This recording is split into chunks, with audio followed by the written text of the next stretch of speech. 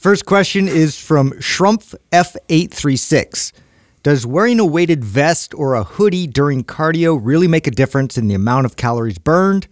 Or is it like the oxygen restriction masks and just a perceived difficulty? It doesn't, but it does make you look way more serious than anybody else that you're running next and to. that counts. Yeah, yeah. So okay, so ready. theoretically, uh, weighted vest would make you burn more calories because there's resistance and it's harder, uh, but it's not worth the trade off. And what I mean by that is a weighted vest, weighting your body down, doing cardio, changes your movement patterns. If you're not used to moving that way, injury is much higher. Uh, if you want to use weight, use weight for what it's used best for, which is resistance training.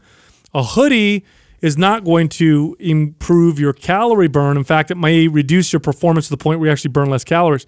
But wearing a hoodie may help improve your ability to tolerate heat.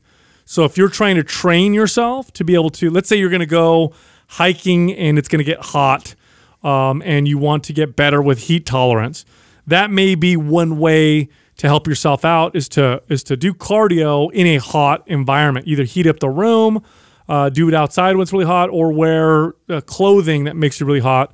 In which case, you're training that that you know aspect of your body. But as far as calorie burn goes, you're going to do the best uh, in the best state, meaning the best performance, Well, with the best form uh, and the best technique. Yeah, unless you're like a soldier, or unless you're like, Right. uh, you know, even for football, in some degree, you had uh, weighted equipment, and so I would consider certain things like that. With uh, the style of training is very like specified. So if I'm if I'm doing sprints or doing anything, I'm trying to emulate uh, the amount of time I would be doing that in the game and the amount of weight I'd be carrying around my body. And so, you know, there's ways to kind of do that creatively, and, and the weight vest might make sense in certain instances like that. But in terms of your everyday average person that's just trying to burn calories or get stronger, uh, you got to evaluate these things. They don't really have a lot of worth in that direction. I'm glad you said that because this is where I was going to go with that. This is it only makes sense to me if you if you are doing something where you are going to have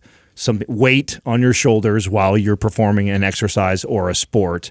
Um, other than that, uh, it's a classic example of how us silly fitness humans think that the you know the ultimate goal is just to make everything harder and that therefore it, it ends up being more results. That's just how we. So many people train this way. You know, Yeah. it's always intensity. Always, if it's difficult, it's hard, more results, and it's not.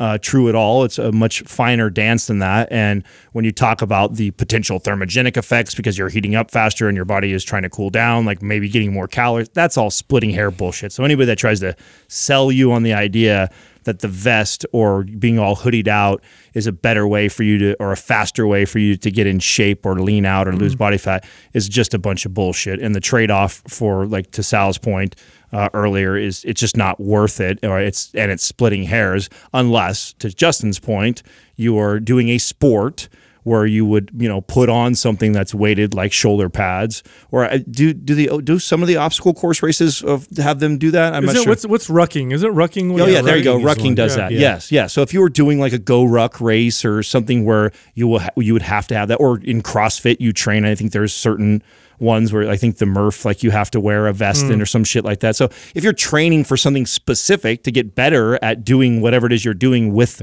a vest on, that makes sense. Uh, for all other reasons, yeah. yeah. For all other ma- reasons, uh, yeah, not silly. It reminds me of like the the the ab workouts you see on Instagram that are posted, where the dude is doing like a leg raise or a sit up, and someone's there like punching them in the stomach, them. Yes, or yes. kicking them, or throwing a medicine ball, Yes. at their abs, and they're like, "Oh man, you got to try this. You really so much more effective. you really feel it more in your abs. You better. they totally got that from boxers, and boxers do that because in boxing you get punched in the yeah, stomach. you actually get punched. Yeah, there's So a real learn. yes, there's a real application for them. Yeah, but for everybody else, you're just hurting, you're bruising your body. It's not helping you build your abs more. Yeah. yeah. Wearing a weighted Great vest analogy, great is analogy. not going to help your you your cardio or to burn necessarily more calories. Not worth the trade unless that's what you want to get good at, which is cardio with weights.